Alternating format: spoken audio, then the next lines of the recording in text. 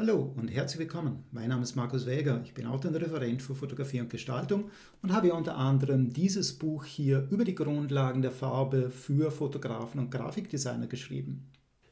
In diesem Video gehe ich wieder einmal einer meiner Lieblingsfragen nach, nämlich inwiefern es den Tatsachen entspricht, dass viel, viel hilft und deshalb äh, Kameras mit größeren Bildsensoren generell besser sind als Kameras mit kleineren Sensoren. Äh, dass ein größerer Sensor generell mehr Potenzial hat in Sachen Auflösung, äh, Bildqualität und Detailqualität. Daran gibt es zunächst einmal nichts zu rütteln. Die Frage ist allerdings, wie groß diese Unterschiede in der Praxis ausfallen. Und dazu habe ich ja schon viele Tests gemacht und auch veröffentlicht. Die Rechnung, dass ein viermal so großer Vollformatsensor, viermal so groß wie MFT, auch äh, viermal so gute Bildqualität abliefern, ist natürlich letzten Endes eine Milchmädchenrechnung. Äh, wenn man die Unterschiede in der Praxis untersucht, eigenhändig untersucht, kommt man meistens darauf, dass Unterschiede, die in den theoretischen Debatten wie Elefanten erscheinen, äh, in der praktischen Anwendung doch eher einer Mücke entsprechen. Für diesen Test lasse ich diesmal meine MFT-Kamera, die Olympus OMD äh, EM1 Mark III, nicht einfach nur gegen Vollformat antreten, sondern diesmal stelle ich sie auch in den Vergleich zu einer Vollformatkamera. Ähm, als Vertreter für MFT eben meine Olympus-Kamera, in diesem Fall mit dem neuen Weitwinkelzoom 8 bis 25 mm von Olympus. Ähm, ein ganz sehr großartiges Objektiv für all diejenigen, die gerne unterwegs sind und Landschaft fotografieren. Äh, mit diesem Objektiv komme ich bis nahezu in den Makrobereich hinein. Ähm, einen eigenes, ein eigenes Video darüber werde ich in einiger Zeit noch veröffentlichen. Ähm, als Vertreter für das Vollformat habe ich von äh, Fotohebenstreit die ähm, Canon OES R5 bekommen, eine Kamera mit 45 Megapixel. Ähm, danke an Foto Hebenstreit wieder einmal dafür. Ähm, auch die äh, Fujifilm, äh, die ich als Mittelformatkamera bekommen habe, äh, stammt von Foto Hebenstreit. Ähm, die Canon ist eine Kamera, die sich sehr gut, sehr solide anführt. Ich nehme an, die Zahl 5, R5 hier ist nicht umsonst gewählt. Äh, die D5-Reihe ist ja im Grunde genommen ein Klassiker äh, der äh, professionellen Fotografie. Ähm, solide gebaute Kamera liegt gut in Händen. Das Shaping äh, der Olympus gefällt mir etwas besser. Ich mag einfach diese tieferen Griffe hier. Äh, der Griff der Canon hier ist eher breiter, nicht ganz so tief. Das ist aber letzten Endes Geschmackssache. Die Kamera wirkt solide, die ganzen Einstellräder hier fühlen sich großartig an, äh, rasten deutlich spürbar ein. Äh, macht also wirklich einen tollen Eindruck und ich glaube, niemand, der mit Vollformat fotografieren möchte, macht mit dieser Kamera irgendetwas falsch. Ähm, als Objektiv habe ich das 15 bis 35 mm äh, zur Verfügung gestellt bekommen. Und die dritte im Bunde hier die Fujifilm GFX 50R Mittelformatkamera ausgestattet mit einem 23 mm, mit einer 23 mm Festbrennweite. Äh, das entspricht äh, heruntergerechnet als Vollformat ungefähr 18 mm und auf das habe ich auch versucht, die anderen beiden Zoom-Objektive einzustellen. Auch diese Kamera wirkt absolut solide, wobei der Formfaktor eher einem kompakten Ziegelstein entspricht. Das heißt, nicht so ergonomisch gestaltet ist wie die Olympus oder die äh, Canon Vollformatkamera hier. Ähm, das heißt, keine Kamera, mit der ich unbedingt aus freier Hand fotografieren möchte, beziehungsweise nicht die erste Wahl, wenn es darum ginge.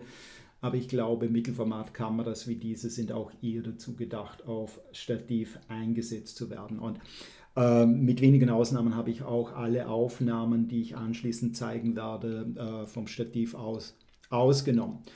Gewohnt Fuji-like das Ganze, ein äh, Blendenring hier am Objektiv, äh, dann äh, beschriftetes Rad für die Belichtungszeit und ein weiteres Rad für die Belichtungskorrektur. ISO-Empfindlichkeit wird dann entweder über dieses Rad, ich glaube Standardeinstellung war hier das vordere Rad. Hinten gibt es ein zweites Rad äh, mit möglichen Einstellungen, das dazu auch noch klickbar ist. Äh, ich habe mich mit keiner dieser Kameras intensiv auseinandergesetzt. Es ist kein Produkttest, sondern ich habe die Kameras einfach genommen.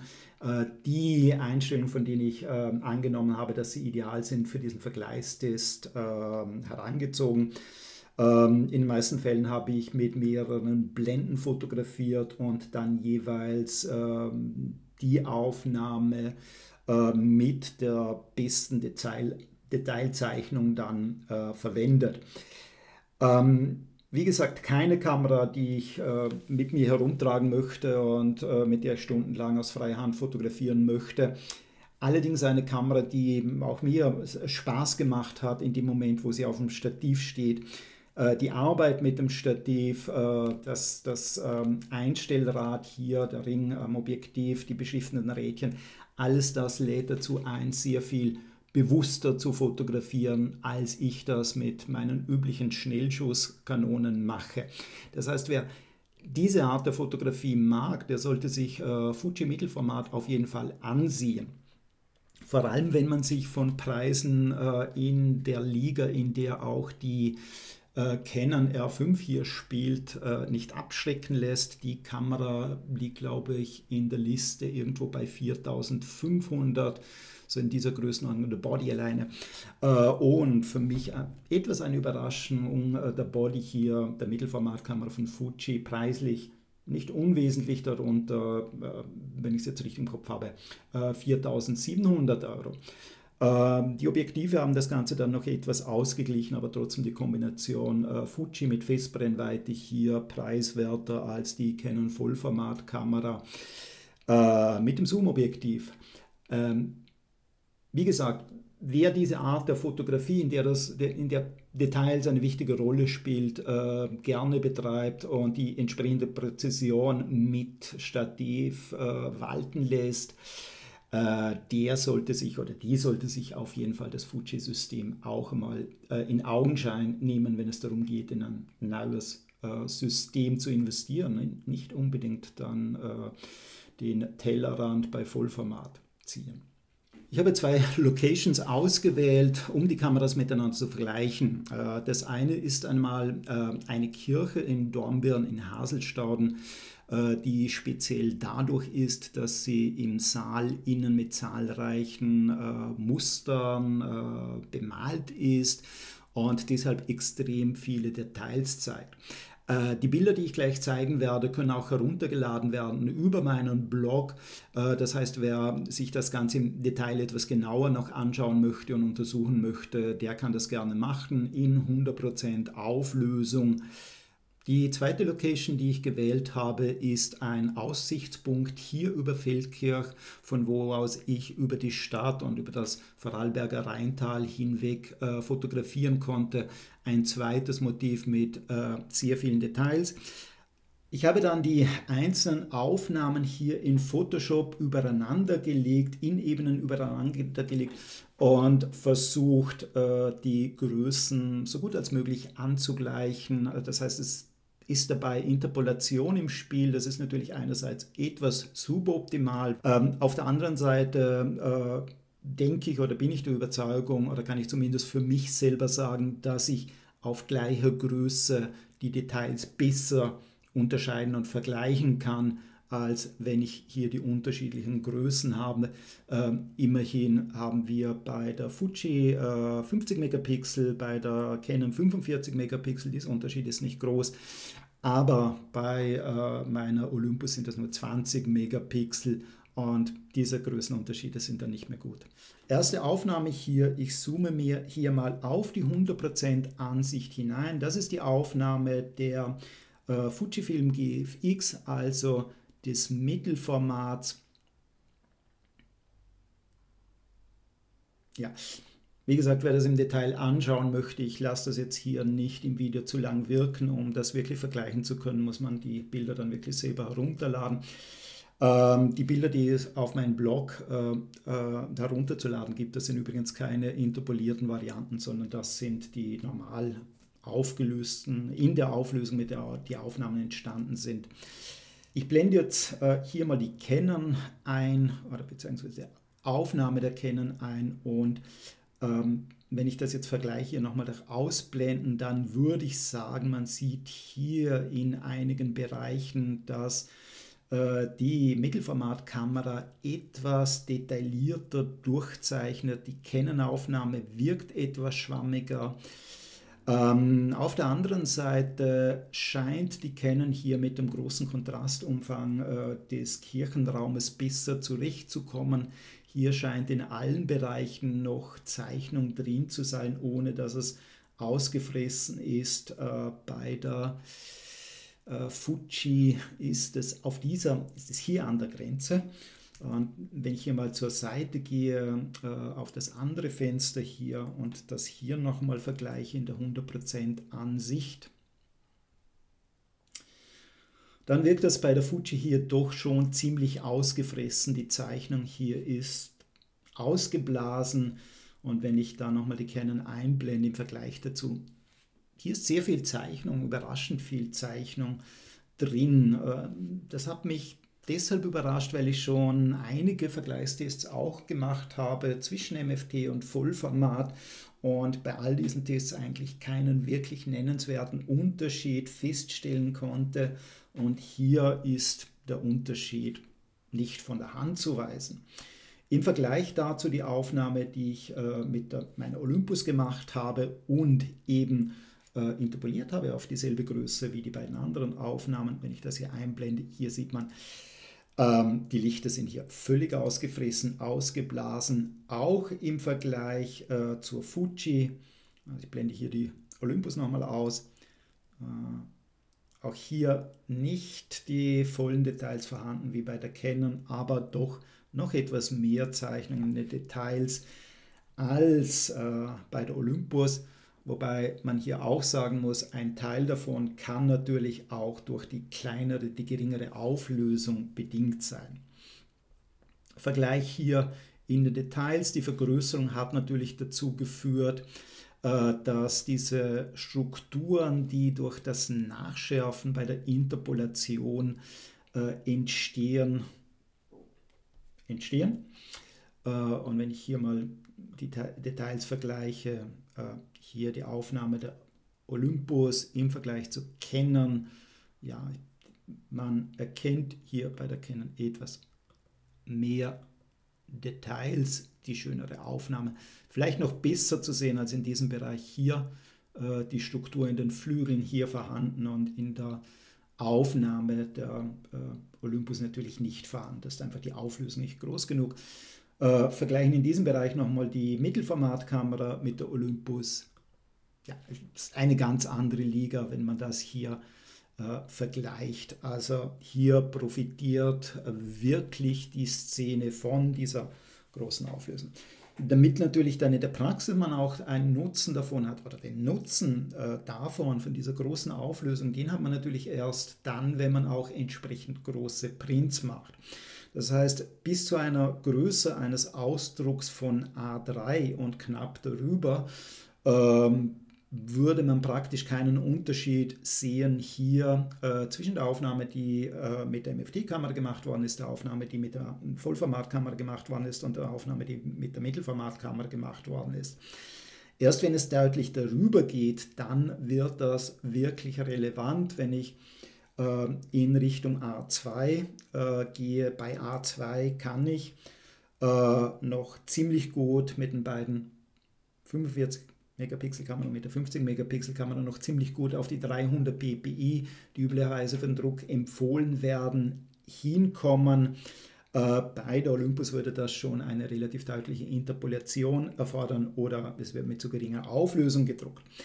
Relevant ist das natürlich nur dann, wenn ich äh, ein Motiv habe, bei dem ich damit rechnen muss, dass der Betrachter näher an das Motiv herantritt.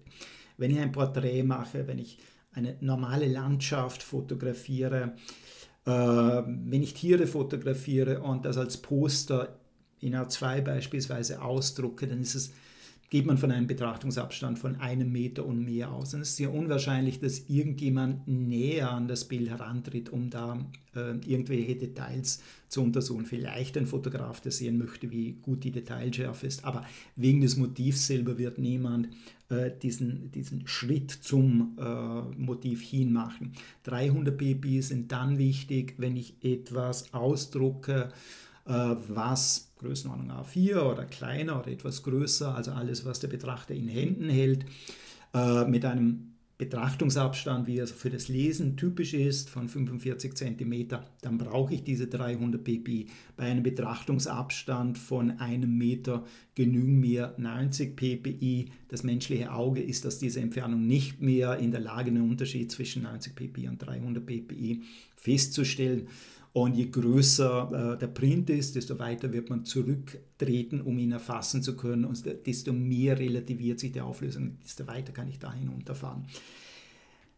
Wie gesagt, das gilt für die meisten Motive. Wenn ich jetzt allerdings von einem Motiv ausgehe, wie hier, in dem die Details eine zentrale Rolle spielen, dann muss ich sehr wohl davon ausgehen, dass ein Betrachter diesen Schritt zum, äh, zur Aufnahme, zum, zum Druck, äh, zum Bild hin tatsächlich macht, um Details äh, ins Auge zu fassen. Und dann profitiere ich von den großen Auflösungen, äh, die die Canon und die die Fujifilm hier mitbringen. Ein ähnliches Motiv, wo das auch der Fall sein wird. Das sind Landschafts-, Ortschaftsmotive, wie ich es als nächstes zeigen möchte. Oder es sind aber eher die Ausnahmen, ist eher die Ausnahme dieser Motive, wo die Details wirklich eine zentrale Rolle spielen gegenüber den meisten anderen Motiven, wo das nicht der Fall sein wird. Das heißt, es gilt abzuwägen, welche Bedeutung hat das für mich überhaupt. Nun kann ich mit der Olympus ja nicht nur mit äh, den äh, 20 Megapixel des Sensors fotografieren, sondern via Pixel Shift wird mir auch ein High-Res Modus angeboten, äh, mit dem ich je nachdem auf 50 oder 80 Megapixel komme. Wenn ich mit Stativ fotografiere, dann sind das 80 Megapixel und natürlich dieser Vergleich ist auch interessant zwischen äh, den beiden hochaufgelösten Kameras hier und äh, der Pixel Shift Variante. Ähm, auch hier bin ich hingegangen und habe äh, die Bilder übereinander gelegt. In diesem Fall vergleiche ich anhand des Kirchenmotivs hier lediglich die Canon mit der äh, Olympus. Ich hatte zwar eine Aufnahme mit der äh, Fujifilm auch gemacht, mit demselben Motiv, in der Annahme, dass ähm, bei Mittelformat Blende 32 problemlos möglich ist, habe ich leider nur mit dieser Blende fotografiert und die Aufnahme war dann dermaßen unscharf, dass es keinen Sinn macht, das hier mit den, in den Vergleich mit einzubringen. Vergleichen wir also die beiden Bilder hier, ich gehe auch hier hinein in die 100% Ansicht, dieselbe Kirche, diesmal in die andere Richtung fotografiert. Äh, zunächst mal hier die Aufnahme der äh, Olympus mit 80 Megapixel aufgenommen. Ich habe sie dann allerdings herunter interpoliert, herunter verkleinert auf dieselbe Größe äh, wie die Canon-Aufnahme auf diese 45 Megapixel, um das Ganze wirklich auf Augenhöhe äh, vergleichen zu können. Und wenn ich hier jetzt mal die Canon einblende und wieder ausblende. Was der Unterschied sehr schön zeigt, ist, dass es Rauschen vermindert und zwar sehr stark. Und das ist interessant hier, das ist Basis-ISO. Das ist bei der Canon, glaube ich, äh, ISO 100 und bei der äh, Olympus ISO 200. Wenn ich die Canon hier einblende, dann sieht das sehr verrauscht aus. Natürlich wird die Canon, oder rauscht diese Canon standardmäßig nicht so, aber ich habe bei allen Bildern, das habe ich bis jetzt noch nicht erwähnt, äh, die ganzen Aufnahmen, die ich hier in der Kirche gemacht habe, da habe ich in Capture One jeweils um den extremen Kontrastumfang auszugleichen, habe ich jeweils die Tiefen und Schwarz auf plus 100 gezogen äh, und die Lichter und Weiß auf minus 100. Das habe ich bei allen Aufnahmen identisch gemacht. Ähm, ansonsten habe ich keine anderen Einstellungen äh, vorgenommen. Ja, vielleicht auch das noch. Ähm, äh, zur Ergänzung, alle Aufnahmen wurden mit einer Belichtungskorrektur von minus 2 aufgenommen. Und dass ich hier bei dieser Canon-Aufnahme jetzt hier eben doch relativ deutlich Rauschen zu Gesicht bekomme, das hat eben damit zu tun, dass ähm, eben die Tiefen und Schwarz auf plus 100 aufgezogen wird. Interessanterweise eben äh, in der Aufnahme der Olympus hier kaum Rauschen erkennbar. Welche Aufnahme jetzt hier von den Details besser ist, ich glaube, man kann darüber streiten. Ja, ich glaube, es kann jeder für sich entscheiden, welche Variante er oder sie besser findet. Ich denke, die beiden Aufnahmen kann man als auf Augenhöhe äh, bezeichnen. Nicht auf Augenhöhe äh, sind die Aufnahmen der Canon und der Olympus im hochauflösenden Modus, wenn wir wieder einen Blick hier auf die extremen Lichter werfen. Äh, bei der Olympus äh, sehen die Fenster hier auch wieder sehr ausgefressen aus. Und wenn wir dem gegenüber, äh, wenn ich dem gegenüber hier mal die Aufnahme der Canon einblende, dann haben wir hier eine ganz andere Durchzeichnung, eine sehr viel sauberere Durchzeichnung. Den Nutzen des hochauflösenden Freihandmodus meiner Olympus-Kameras habe ich bereits wiederholt untersucht und ich konnte bei den Vergleichsaufnahmen niemals feststellen, dass ich bei der hochauflösenden Aufnahme nicht nur mehr Auflösung habe, sondern darin auch mehr Details erkenne als in der äh, normal aufgelösten Aufnahme. Ähm, nun haben Anwender in Kommentaren zu meinen Blogartikeln und meinen Videos wiederholt ihm auch widersprochen und schwören darauf, dass sie im hochauflösenden Modus äh, tatsächlich feinere Details erkennen können, als das in der 20 Megapixel Aufnahme der Fall ist. Und ich habe diesen Vergleichstest hier, äh, diese Serie zum Anlass genommen, auch das noch einmal zu vergleichen. Diese Aufnahme, die man jetzt hier sieht, äh, die ist im hochauflösenden Freihand-Modus entstanden, hat also 50 Megapixel, bin ja auf 100% gegangen. Und was natürlich gerade bei dieser Szene, hier sieht man natürlich tatsächlich den Vorteil äh, des High-Res-Modus, der einigermaßen bekannt ist. Ich habe kaum Rauschen in diesem Bild drin. Und da wird man jetzt gleich einen Unterschied sehen, wenn ich jetzt die Aufnahme, die mit 20 Megapixel entstanden ist und die ich auf dieselbe Größe gebracht habe wie dieses 50 Megapixel Bild, wenn ich das einblende, dann haben wir wieder diese Situation, dass durch die Interpolation nachgeschärft wird und das verstärkt natürlich auch das Rauschen und das lässt natürlich definitiv dieses Bild hier besser wirken, vielleicht etwas unschärfer, aber besser wirken als diese Aufnahme. Sehen wir uns die Details an, am besten, denke ich, wieder zu erkennen, in diesem Bereich. Man kann das ansatzweise gerade noch entziffern, was hier steht, jedenfalls in dieser Variante. Und wenn ich das vergleiche mit der interpolierten Version, dann geht die Lesbarkeit hier definitiv verloren. Das heißt, ich muss zugeben, bei dieser Aufnahme, bei dieser Szene hier profitiert ähm, das Motiv tatsächlich vom, auch vom Freihandmodus äh, für hochauflösende Aufnahmen. Ähm, der Vorteil liegt natürlich bei dieser Aufnahme noch drin, dass ich das jetzt durch ein gutes Tool zum Nachschärfen jagen kann, wie beispielsweise die Programme von Topaz. Und dann kann ich hier natürlich noch einmal sichtbar etwas mehr herausholen, was bei dieser Aufnahme hier definitiv äh, nicht möglich ist. Das heißt, ich muss hier meine Aussage, dass der hochauflösende Freihandmodus äh, überhaupt nichts bringt, etwas revidieren. Die Frage ist natürlich äh, bei diesem kleinen Unterschied, was die Detailschärfe, was die Detailzeichnung angeht, wie relevant das in der Praxis wirklich ist. Wir müssen uns bewusst sein, dass das, was wir am Monitor sehen, wenn wir ein Bild in der tatsächlichen Pixelansicht betrachten, bei 100% betrachten, äh, etwa der dreifachen Vergrößerung entspricht von dem, wie das Bild bei 300 ppi gedruckt werden würde. Äh, Bildschirme haben üblicherweise keine Auflösung von 300 ppi, sondern meistens irgendwo zwischen 100 und 120 ppi. Äh, mein ISO-Bildschirm, vor dem ich hier sitze, der hat 109 ppi. Äh, das heißt, ich habe eine etwa eben dreifache Vergrößerung gegenüber des Drucks. Wie viel das ausmacht, ist mir erst so richtig bewusst äh, geworden, seit ich äh, eben äh, eine, ein MacBook habe mit einem Retina-Display. Das hat eine Auflösung von 226 ppi, also etwas mehr als doppelt so groß wie mein üblicher Desktop-Monitor. Probleme, die ich am Monitor deutlich sehe, äh, wie hier jetzt eben, sehe ich im Grunde genommen auf dem äh, Laptop vergleichsweise in 50 Prozent. Also ich bin jetzt auf 5, aber auf 50 Prozent äh, ausgezoomt und Probleme, die am Desktop sehr eindeutig sind, äh, sind bei, beim Retina-Display ein sehr viel geringeres Problem. Und im Druck haben wir dann eben bei 300 ppi eine nochmal kleinere Darstellung. Das heißt, man sollte diese Unterschiede, die man bei in der tatsächlichen Pixelansicht am Monitor sieht, nicht überbewerten. Kommen wir zur abschließenden Vergleichsaufnahme, die ich unter Tageslichtbedingungen gemacht habe.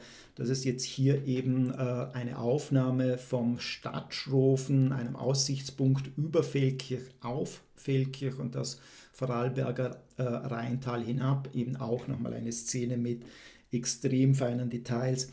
Äh, Im Moment sichtbar die Aufnahme, die mit der Fujifilm Mittelformatkamera entstanden ist und ich zoome auch hier wieder auf 100% hinein. Ähm, ich habe die Bilder so ausgerichtet, dass die Spitze dieses Turms weitgehend deckungsgleich ist. Ich habe auch diese drei Bilder, die ich hier vergleiche, auf dieselbe Größe gebracht. Ähm, und ähm, ein ganz gutes Kriterium, um die Schärfe zu beurteilen, ist diese Schrift hier. aber man sieht jetzt, wenn ich dem gegenüber die Aufnahme der Canon einblende, dann ist das doch nochmal deutlich unschärfer. Das heißt, auch dieser, dieser Vergleich hier zeigt, äh, die Fujifilm zeichnet hier wirklich die feinsten Details in den Ziegeln, in den Steinen hier oder eben auch in diesen Details hier durch und eben schwammiger die Aufnahme, die mit der, mit der Canon entstanden ist.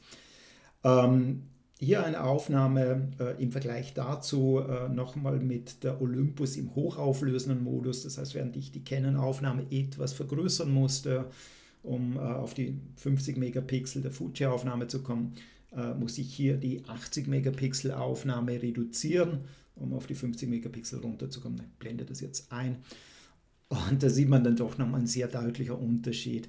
Also trotz im Grunde genommen von der Aufnahme her mehr Auflösung ein doch recht deutlich äh, schlechteres Resultat als das, was ich mit der Mittelformatkamera erzielen kann. Physik ist am Ende nun einmal doch Physik und die sorgt dafür, dass ein größeres Sensorformat definitiv mehr Potenzial hat, was die Auflösung und die Fähigkeit, Details aufzuzeichnen, angeht. Da fährt letzten Endes der Zug drüber. Auf der anderen Seite sollte man allerdings auch die Kirche im Dorf lassen das, was ich hier äh, in meinen Vergleichen aufgezeigt habe und einigermaßen deutlich zu erkennen ist, das relativiert sich natürlich sehr stark dadurch, dass es eben in der 100% Ansicht ähm, aufgezeichnet worden ist, dass es in der 100% Ansicht gezeigt habe. Wenn das Ganze in den Druck hineingeht, dann haben wir eine Verkleinerung um den Faktor 3 und dass diese Probleme, die sind dann überwiegend äh, nicht mehr zu erkennen. Vor allem dann nicht, wenn wir beim Ausdruck äh, auf eine Größe oder die Größe von A3 nicht wesentlich überschreiten. Wenn jemand häufig Szenen fotografiert, in der feine Details eine zentrale Rolle spielt und wenn er oder sie äh, diese Aufnahmen dann auch regelmäßig in Formaten deutlich über A3 äh, drucken lassen möchte und darüber hinaus auch noch bereit ist, die größere Präzision, die für diese Form der qualitativ hochwertigen Fotografie notwendig ist, walten zu lassen. Das heißt auch viel häufiger mit Stativ zu fotografieren. Der oder die wird definitiv von äh, Kameras mit größeren Sensoren und mehr Auflösung äh, profitieren können. Alle anderen Fotografen, auf die das, was ich jetzt eben gesagt habe, nicht zutrifft, die sollten sich überlegen, ob sie auf diese winzigen Detailunterschiede, die ich hier gezeigt habe, ähm, wirklich so große Priorität legen, dass es zum ausschlaggebenden Kriterium für oder gegen ein Kamerasystem ist.